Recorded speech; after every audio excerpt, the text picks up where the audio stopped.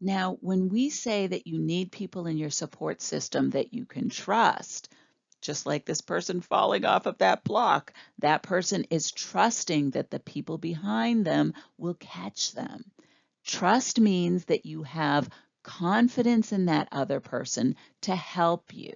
So let's say that you have a favorite pet, whether it's a dog or a cat or a turtle or a bird or a fish or a rat even.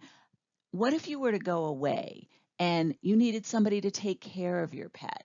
Would your friend feed them? Would your friend walk them, clean them after them, love them like you do?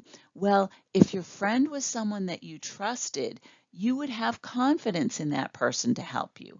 And you would know that that person would take care of your pet just like you would take care of your pet.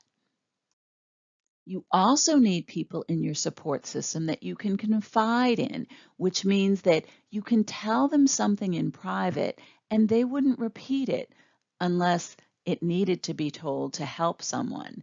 There are some people like counselors and teachers and doctors who may share things that you tell them, but only if someone or yourself is going to be hurt by that information. But your friends, you should be able to tell them things. And by telling them things, what you're doing is you're relieving stress on your brain.